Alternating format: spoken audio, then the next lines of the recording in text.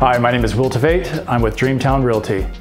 Before I became a broker, I was working in the banking industry in commercial mortgage-backed securities and then residential mortgage-backed securities.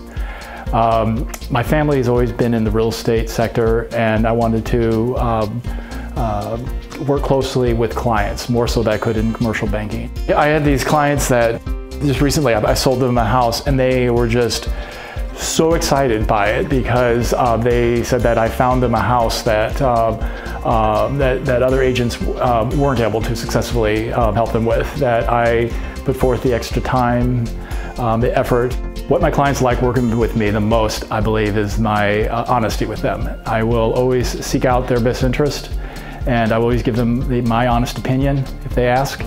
Um, whether it's a sale or a purchase or investment, I'm always going to be on their team, on their side, and um, I believe that they really appreciate that.